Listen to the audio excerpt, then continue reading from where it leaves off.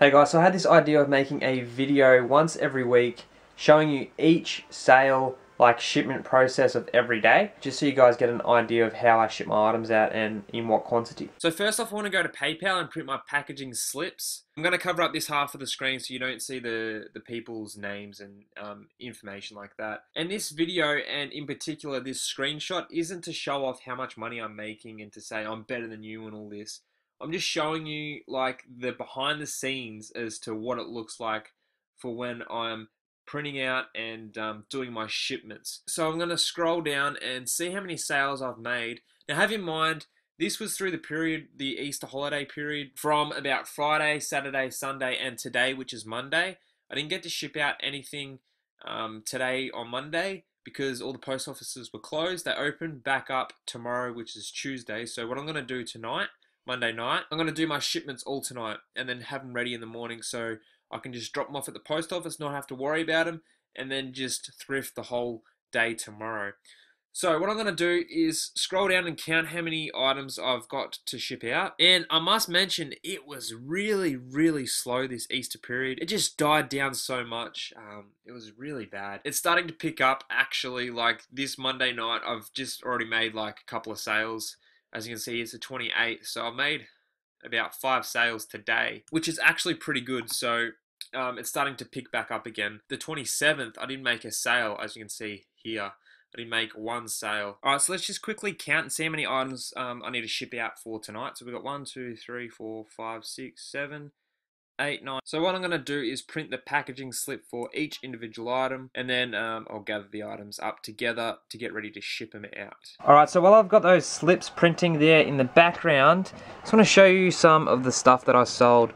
So in there I've got some Nerf guns, I just sold those. So here they are, they actually sold for $32 um, and I've only got two, four, I've only got six of the bullets here, but um, I think I might have to search through the guns. Yeah, the guns have got other bullets inside if you can see that.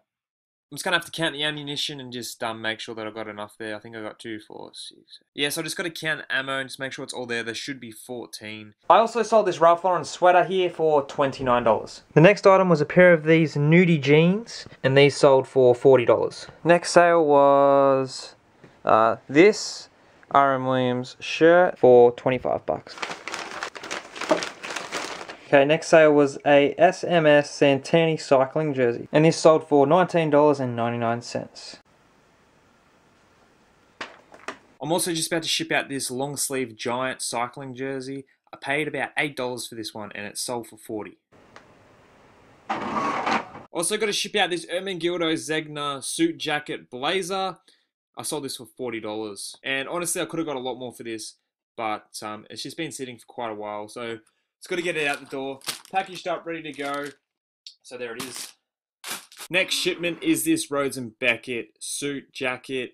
Um, this sold really cheaply, 25 bucks. I remember I only paid like $3. I got two of them, another one I'm still selling, and these took a really long time to sell. So I wouldn't, you know, particularly recommend picking these up. This was kind of like an experiment item for me, and it, from experience, took a pretty long time to sell. However, it sold.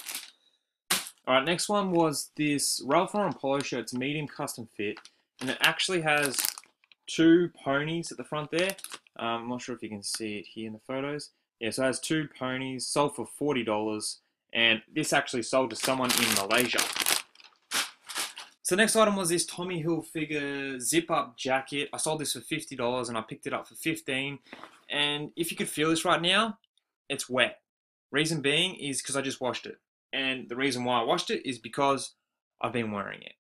And um, I just want to make a confession right now. Sometimes I wear like some of the stuff that I buy to sell. Just a warning and a disclosure, try not to wear the things that you're gonna sell. Sometimes, and yes, sometimes this happens, you get a bit of a stain there and it doesn't come out and because um, sometimes you might get a stain on it and then you can't get that stain out and if it's sold, you've gotta communicate to the buyer and tell them that it's got a stain and you got to cancel the order. And it's happened to me before, so it's risky business. So just make sure you be careful. But um, this is wet. I've got to hang this out, and hopefully it'll be dry for tomorrow, and I'll ship it out then.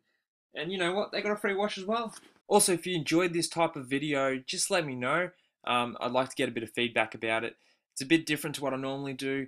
Um, I'm not sure if I should do this for like a weekly based video or maybe daily because if I do it weekly, I've got to edit all the different day videos together to make one video, and I think it just makes more sense as soon as I finish making the video for one day of shipment, I just might as well upload it, you know? So I might stick to doing a daily shipment video or something like that. So we'll see how it turns out. But um, comment down below, let me know what you think. Give it a good thumbs up and subscribe if you haven't already. And remember, I've got a contest coming soon. So, so once I hit 500 subscribers, I'm going to do a giveaway. So thanks everyone for watching and I'll see you in the next one.